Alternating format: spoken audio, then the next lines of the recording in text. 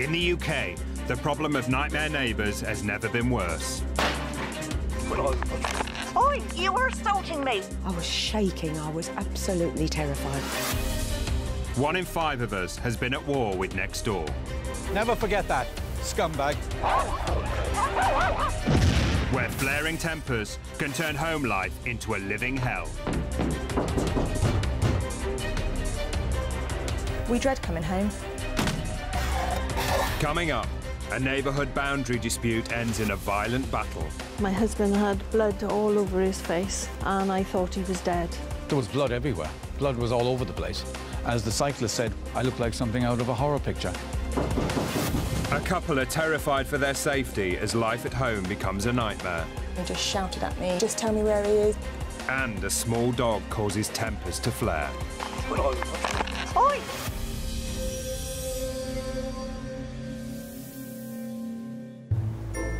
Academic James Killian, his wife Angela, and their two boys thought they would be living the dream when they moved to rural Wales. In 2006, they'd moved to their perfect home right on the edge of the Gower Peninsula. Everything was ideal.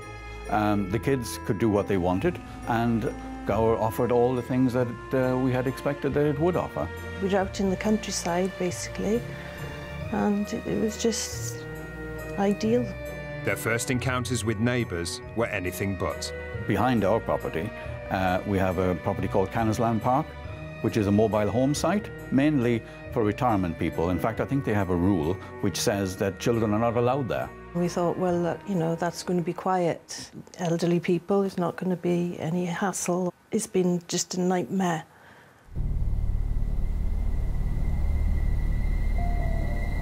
After a few months of living here, I came to the gate and I could see that there was a man with his dump truck and he was tipping out a load of rubble and sticks or whatever and I shouted to him, I said, you can't leave that rubbish there. And he shouted back and said, it's my land.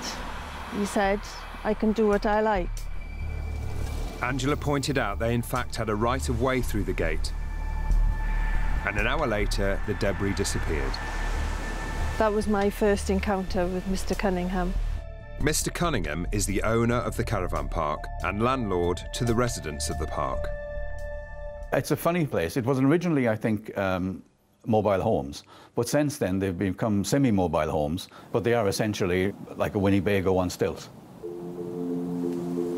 Although the family heard nothing more from Mr Cunningham and the residents of the park, this was to be the start of a very nasty relationship. The family continued to enjoy their dream life, but kept an ever watchful eye on the caravan park that lay behind the trees at the end of their garden. We'd been here about five years then, and everything had been lovely. We were just minding our own business. Every weekend there'd be a house full of children. But their next encounter with their neighbours put an end to their domestic bliss. Our son went down there once, and uh, we had all kinds of aggravation from them in relation to children aren't allowed down here and this kind of thing. But um, uh, that was the only contact we had. However, what happened in May 2012 would change their lives forever.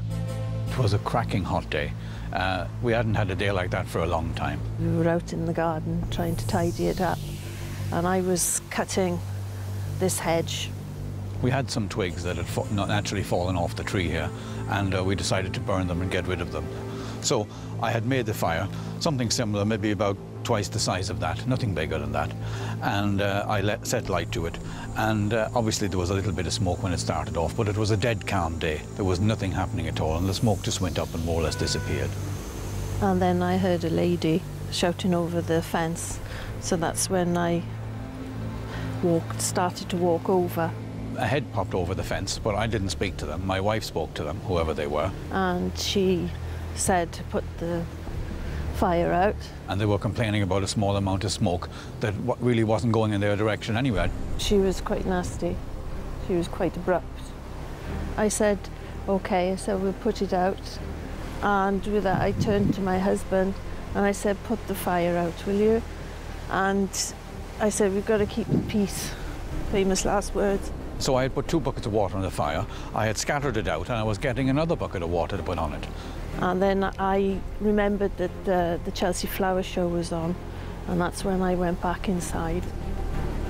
As I was coming back from the tap with a, with third bucket of water from over there, and uh, I was coming, walking back like this with the bucket of water, and as I got to this position, I saw a man coming from the corner of my garden who had forced his way in. because at this point that he pulled a hammer out from behind his back and hit me over the head with it. My husband had blood all over his face, and I thought he was dead. Coming up, a woman suspects she's being followed by the man next door. Every time I came out, they'd be out as well. And two neighbours in Southampton come to blows over dog fouling. His eyes started to shine with rage, and he snarled, Why you?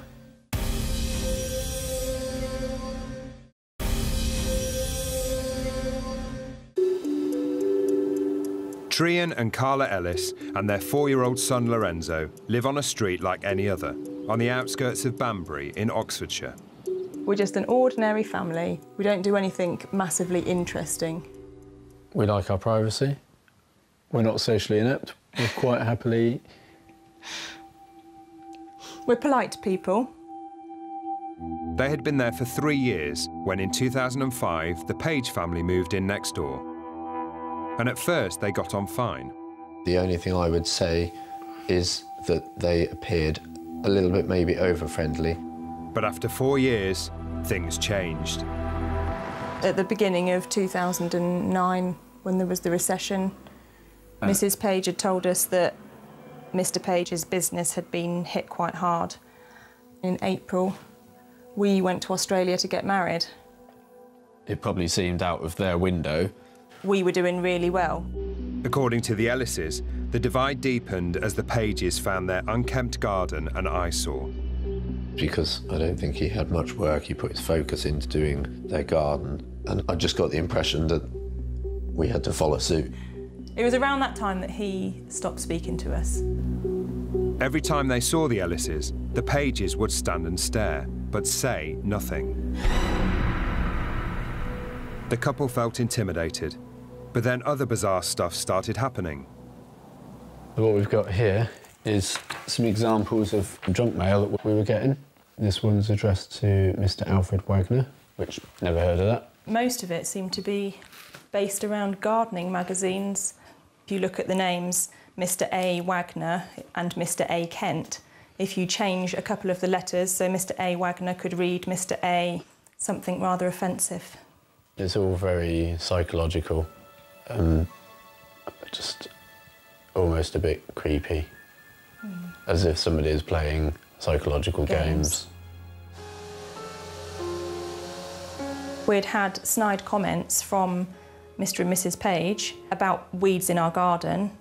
You know, you sort of piece two and two together and we think it's, it's them sending it to us.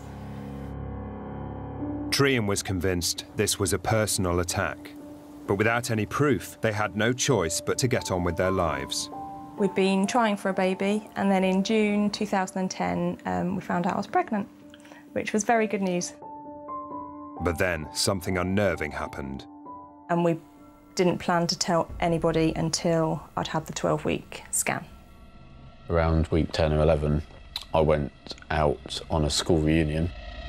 One of the girls that was there was a friend of Mrs. Page's, and she congratulated me on my news. She told me that Mrs. Page had told her, to which I was dumbfounded, I think.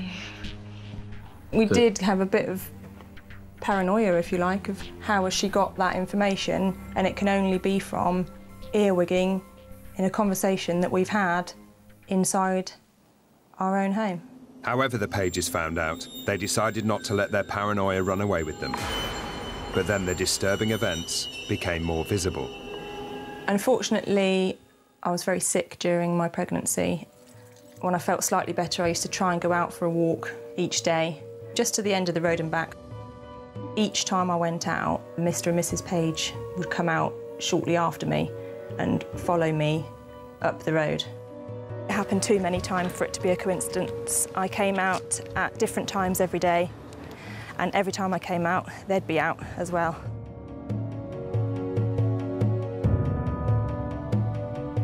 I found it quite scary and intimidating. Being pregnant and often on her own, Carla was terrified by the neighbours' constant presence and alarming stares. So in August 2010, they took drastic measures. With the following, that was the final nail in the coffin. So we called the police and asked for their help. We wanted to get it sorted out before we had the baby. The police told the Ellises they had instructed the Pages to stop following Carla. But rather than putting an end to their nightmare, it was only just the beginning. In Wales, James and Angela Killian had been living in relative peace with the caravan park next door. When in 2012, an irate resident stormed into their garden. It was 72-year-old, 18-stone James Sharrod. It was at this point that he pulled a hammer out from behind his back and hit me over the head with it, just at this position. Uh, I naturally put my hand up, uh, just pure instinct and self-preservation, I guess. But he made contact with my head and then continued to hit me in a motion like this on top of my head. And I went right down on the ground here immediately. And he was on top of me. I was in such a state of, of concussion, panic and terror. So I then started shouting and screaming. As soon as I looked over, I could see that there was a man on top of my husband. And my husband had blood all over his face. And I thought he was dead. And then luckily my wife came out, running and shouting from the back of the house, and managed to push him off me. He had the hammer in his hand. And I said, you've been hitting him with that hammer. And he came up to me with his chest out and he put it behind his back and said, what hammer? So I then had, had, a, had a fork over here, a pitchfork.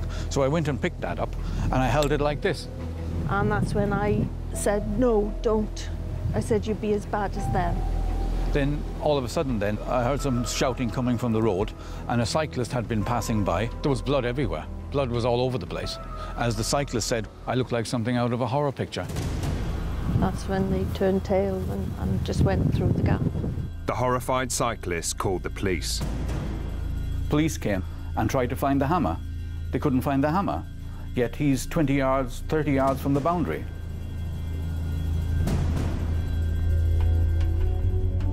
Uh, this is this is a picture of uh, my head afterwards, just immediately after leaving hospital. Uh, you can see I had eight stitches across here. There were lumps underneath the hairline, where he also had hit me but hadn't cracked the skin open throughout the hairline. At the time, I thought I was having my last breath. I thought the game was up. Well, we didn't sleep at all. We were just in total shock. Um, we just couldn't believe that something like that could happen. If I hadn't been here, then he'd have been dead. The attacker was park resident James Sharrod, who was arrested at the scene and charged with wounding, inflicting grievous bodily harm. The attack may have only lasted seconds, but its effects would change their lives forever. These are the medicines that I have to take now. The picture itself doesn't really belie the, the damages that it has caused to me directly between the symptoms of brain atrophy, chronic back pain, uh, where I have trapped vertebrae and so on, uh, trapped nerves leading to sciatica, and some days I can't walk at all.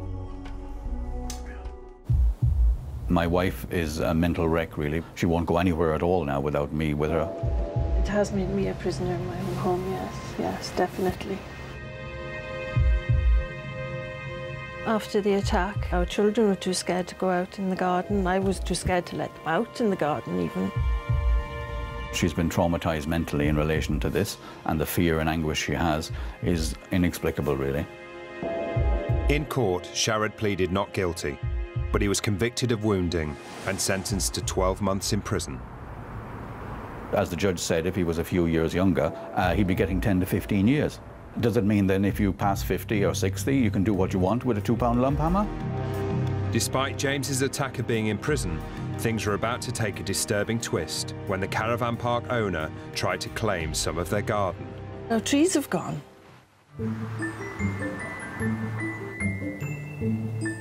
In Southampton, 54-year-old Laurel Wingfield lives in a ground floor flat overlooking a communal garden.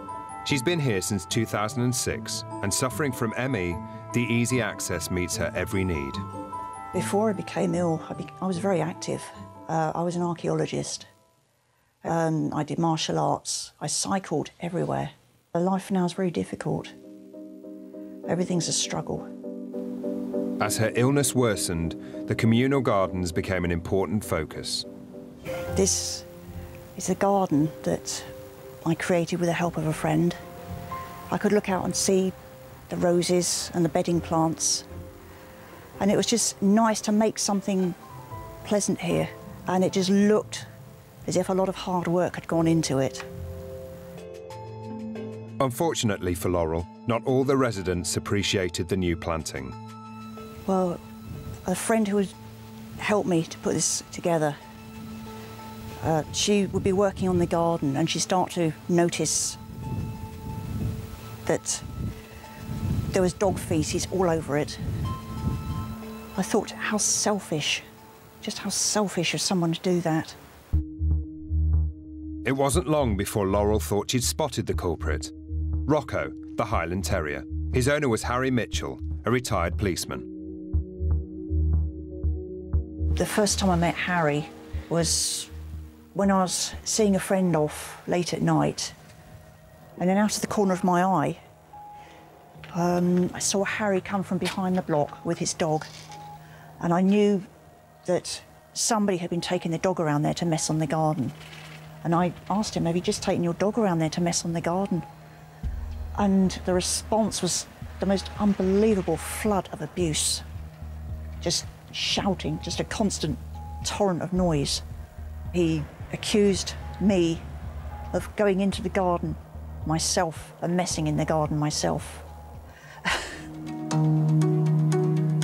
Outraged at her neighbour, but terrified to confront him again, she reported him and his dog to the council. They responded by sending a warning letter to all residents, including Harry, stating that dogs are not permitted to foul common areas.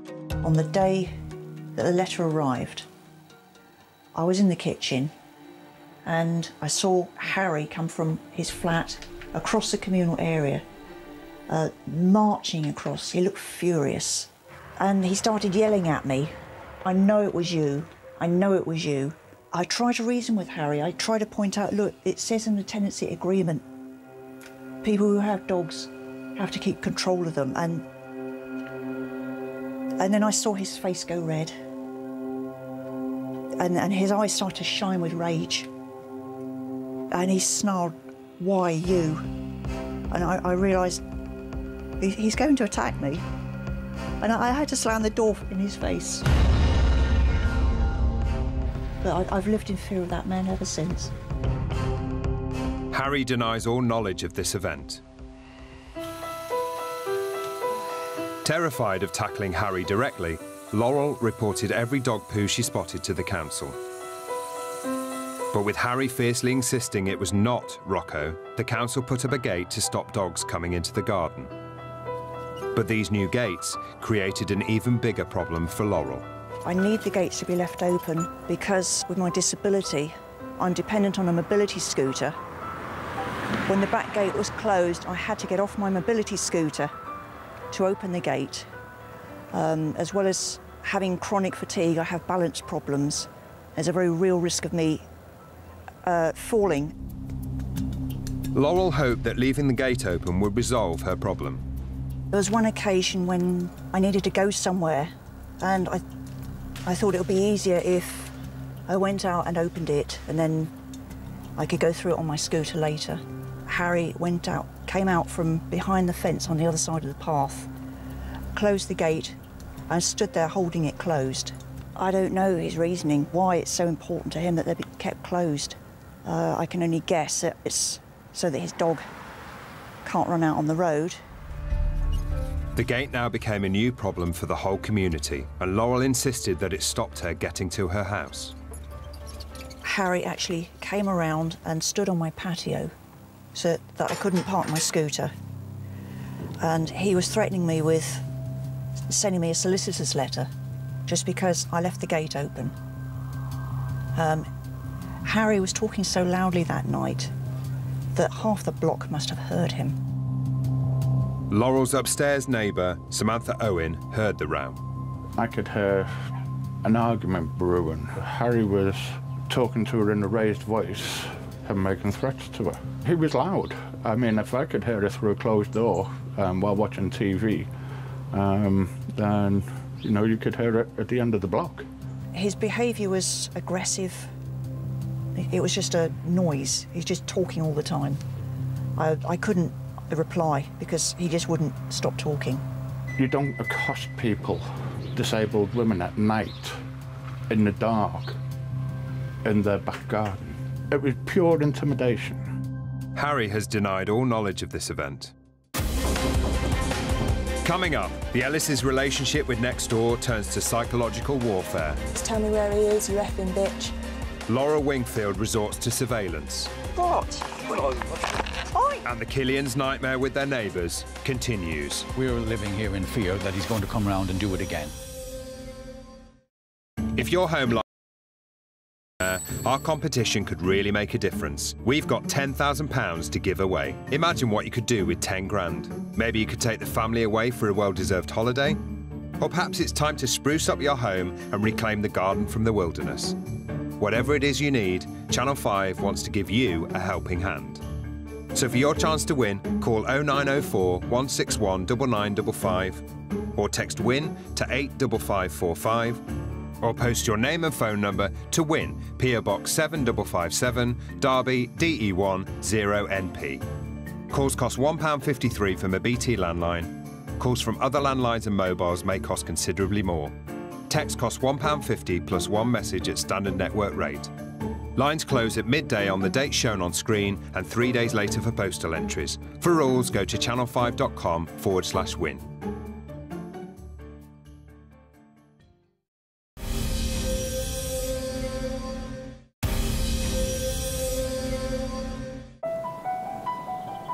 In Oxfordshire, Trian and Carla Ellis believed their neighbours had launched a persistent campaign of psychological terror against them. The next thing we noticed was that Mr Page was starting to block up one of the windows on his house. In March 2012, when putting her son to bed, Carla noticed something ominous from his bedroom window. As I stood here, I could see the breeze blocks going further and further up, and on the centre one, there was a picture of a person's eye with a pupil and eyelashes looking directly at me. We took that to be another cryptic message that they're still watching us. They'd had warnings from the police not to follow us, and we just took it as their way of saying, we can't follow you, but we can watch you, we're still watching you. It's just disgusting, horrifying, shocking, I suppose. Suspecting the eye was there to spy, they became even more troubled by bizarre goings on near their property. Arrived home to find some bricks on the, on the boundary on Mr and Mrs Page's drive, just here, in the shape of a, a T for, I'm presuming, Trian, and then an upside down V, which was a bit strange. The only thing I can think of is it was a, a Mickey take out of my uh, teeth. For Trian, this was no joke. So far, the incidents had been psychological. But in June 2012, over three years since the trouble started, things got very physical. I was woken up with a jolt with hammering on the door. Half asleep, wasn't sure what it was.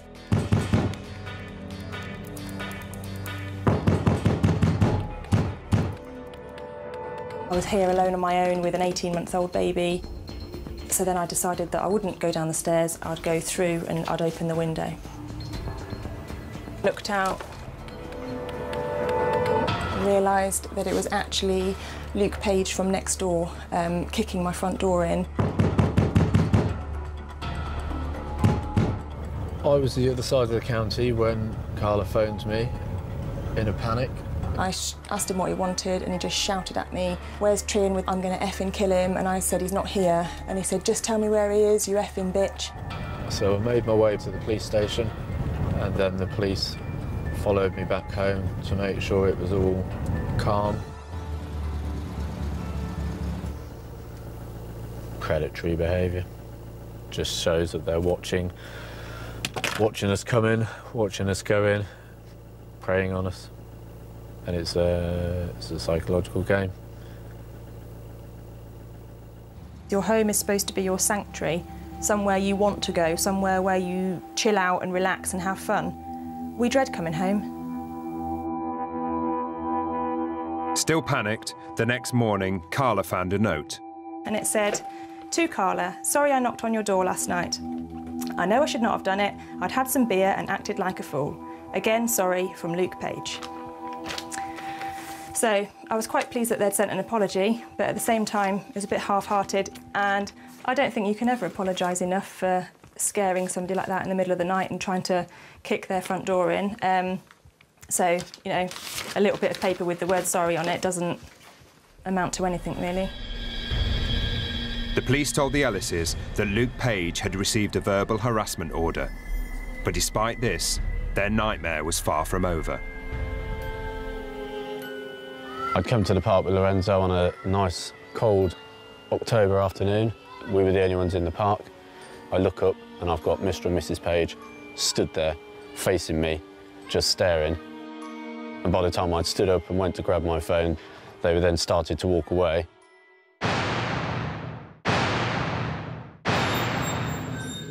Trian managed to capture something on his mobile phone, and he was convinced the shadowy figures in the distance were the Pages.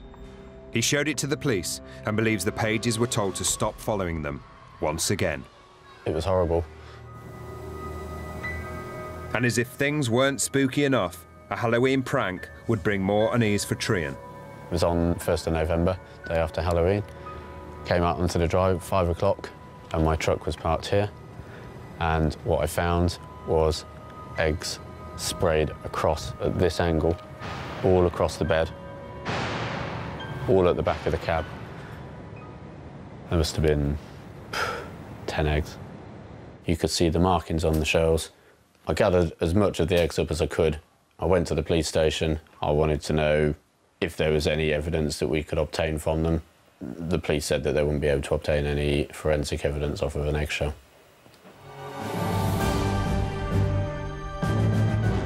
Trian thought things couldn't get any worse, but he was soon to be proved very wrong.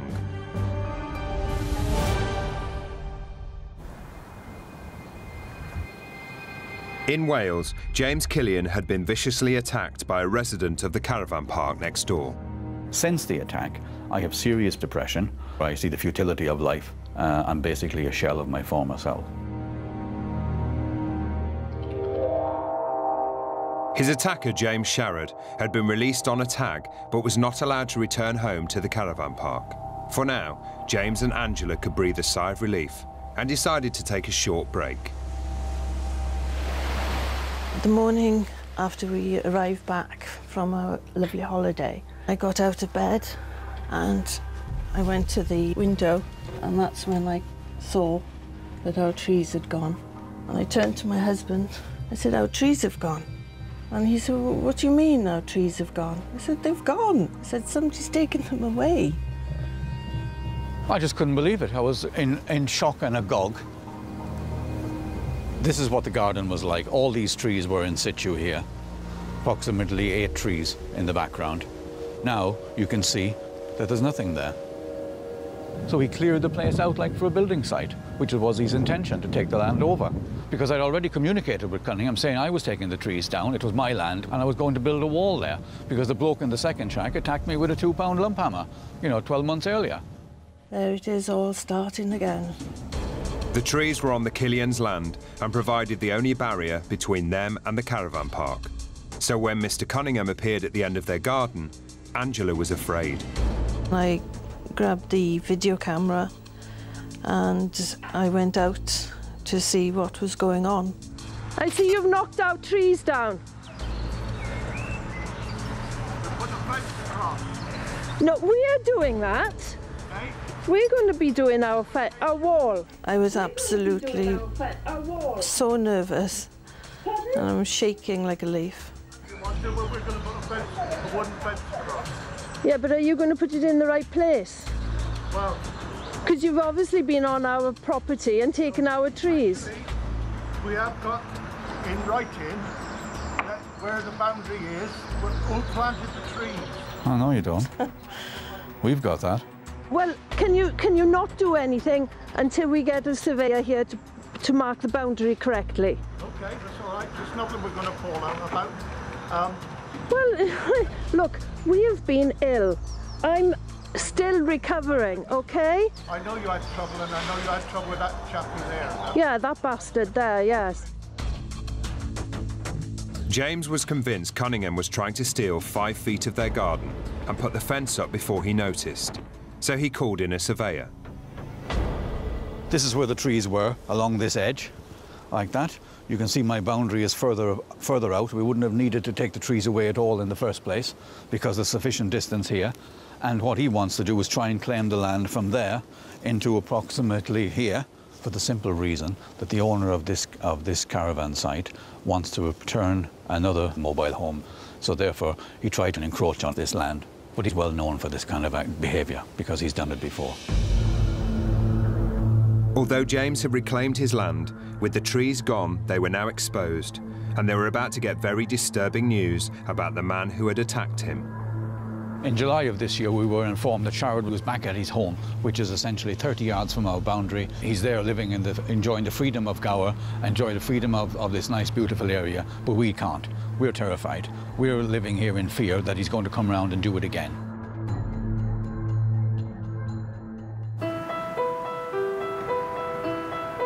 In Southampton, Laurel Wingfield had come to blows with her neighbour Harry Mitchell when she suspected his dog of defecating in the shared garden.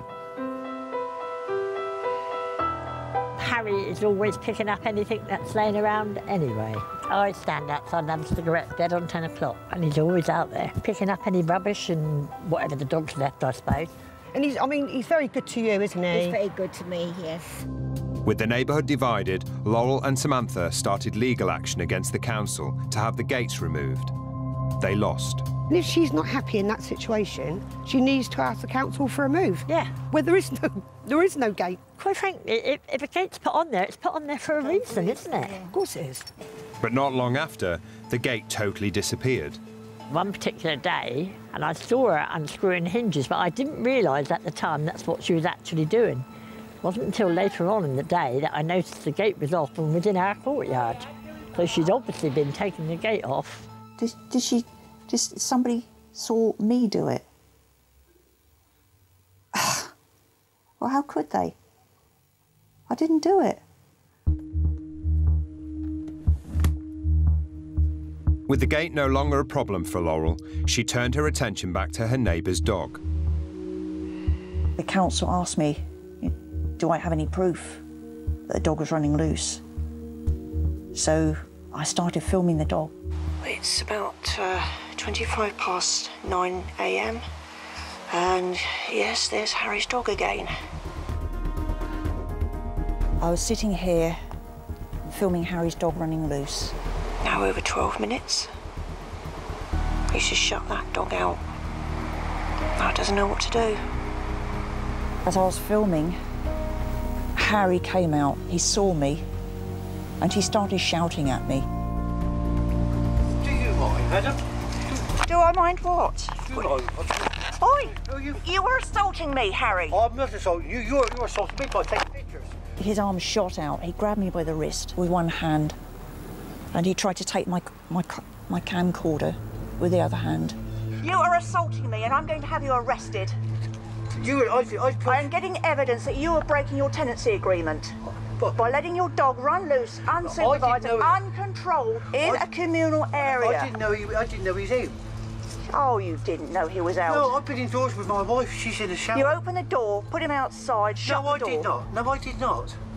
He might have come out well, doing some washing out, but I didn't see him come out. I'm sorry. I'm sorry, Laurel. I did not see him come out of this door. You just assaulted me and I'm going to report you. I did not assault you. I pushed, yes, I you pushed did. You grabbed me. I pushed the camera in the way. Don't lie. I was in shock. I, I, I thought he was going to hit me. The police were called, and Laurel claims they agreed to talk with Harry under caution. No other action was taken. Despite this, Harry holds no grudge. I'm quite happy about the police. If Laurel came to me for help, or anybody in here, I'll do the same as I normally do, help them. Harry denies all allegations made by Laurel on behalf of himself and Rocco. Laurel is continuing to complain to the council about the poo in the garden and is determined to get evidence. Oh, and I finally caught him messing on the grass. yep, finally got proof. Still to come. Trian and Carla fear for their lives. We started having conversations about bullet vests. Is this really happening? And the Killians face their worst fears. The truth always comes out. Never forget that. Scumbag. Don't forget about your chance to boost your bank account by a massive £10,000. You could take a family holiday or spruce up your home. It's completely up to you. To enter, call 0904 161 9955 or text WIN to 85545 or post your name and phone number to WIN, PO Box 7557, Derby DE1 0NP. For rules, go to channel5.com forward slash WIN.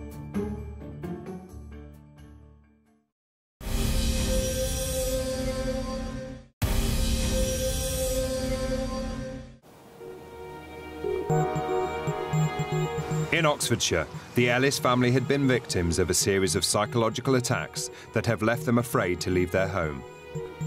Trian Ellis is convinced their next door neighbours, the Pages, are behind it and has desperately been gathering evidence to prove it to the police.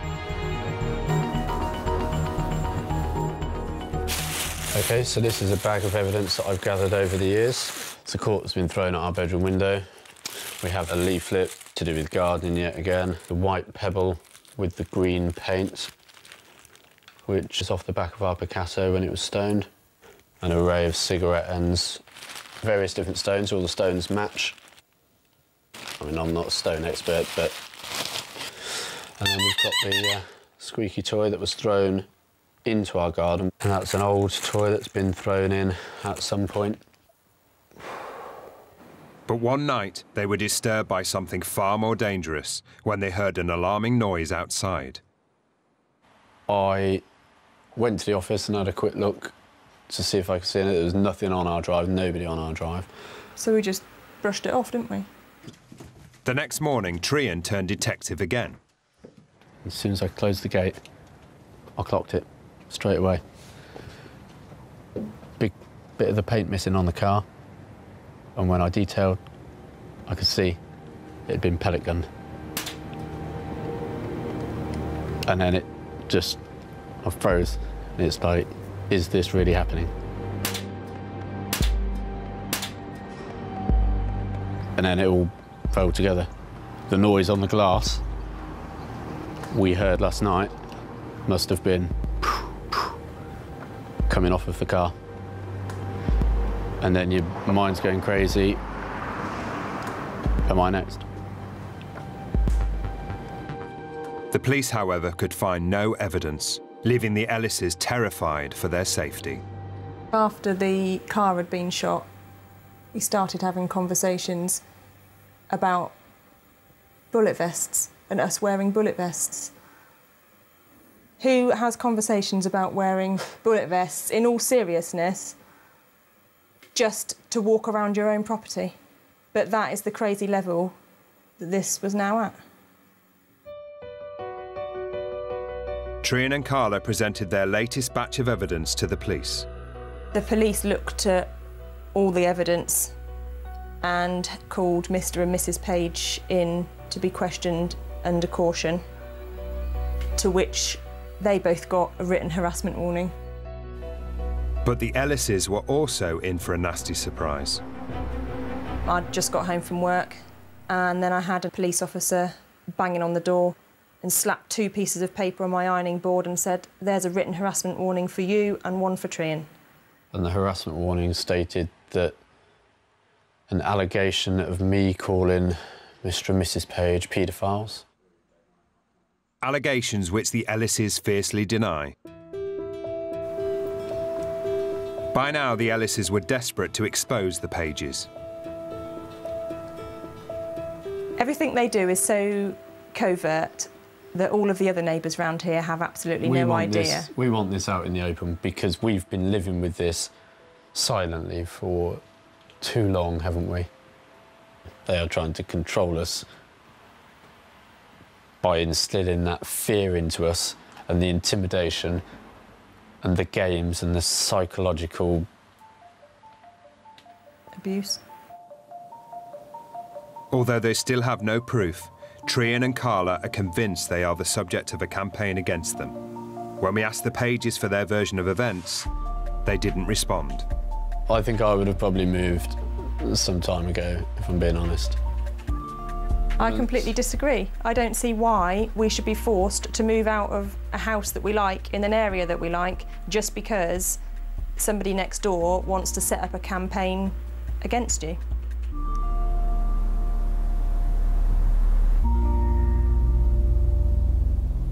In Wales, the Killians were still reeling from the caravan park owner trying to take 12 foot of land. And with their trees gone, there was no peace from some of the residents of the caravan park next door. Stop it! You did nothing at all. You said to my wife, uh, my wife said you're being killed. You said, so what? The truth always comes out. Never forget that. Scumbag. Most worrying, the neighbour who attacked James with a hammer reappeared on the caravan site after being convicted and serving time for wounding. This is where I was standing, um, and I was looking at my garden and seeing the weeds when I noticed uh, Mr. Sharrod and his wife and another lady out in the garden. And my first reaction was to go back in, and then I thought, no, I'll stand my ground and face my fears, as I say. With that, I, I heard faintly that, um, oh, we're being watched, and they were all laughing. And then with that, Mr. Sharrod did a little jig and a bow like this. Clearly, Mr. Sharrod feels no remorse whatsoever in any shape or form. And th these actions in the past couple of days prove that. I felt intimidated.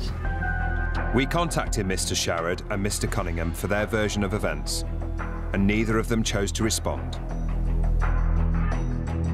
While the family are waiting for their new fence to go up, James has begun protecting them in other ways. Because of this attack and because of the, trauma involved in the attack, we needed some added security. So we installed some CCTV cameras, 10 in all. And uh, the system looks like we've got here. It's recording 24-7, day and night. Even with the CCTV, Angela is looking forward to finally being cut off from their neighbours. Well, I find it quite un unnerving actually. It's the first time basically I've been out here. Um, and uh, see all the memories, you know, flashing back. Just want everything to finish now. Um, you know, we want to put our fence up there, uh, enclose our garden again, and uh, just get on with our lives and just forget those people down there. In the meantime, Mr. Killian's PhD is on hold. And the whole family's life has been turned upside down. My youngest son said, he said, we don't laugh anymore. And that's basically how it's been. The transformation has been tremendous to my family, wife, and their well-being. Why should my kids have to suffer uh, because of this violent, ignorant criminal? Even now, I, I still see my husband with that man on top of him, thinking that he was dead. Um, you know, that, that, that horror I don't suppose will ever, ever go.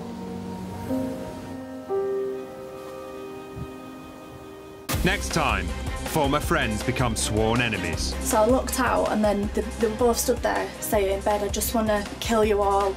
Neighbours fight over flashing headlights. I just don't understand. Why I would I be harassing her? And it's all out war in the Cotswolds. And he just went like that, and I just went.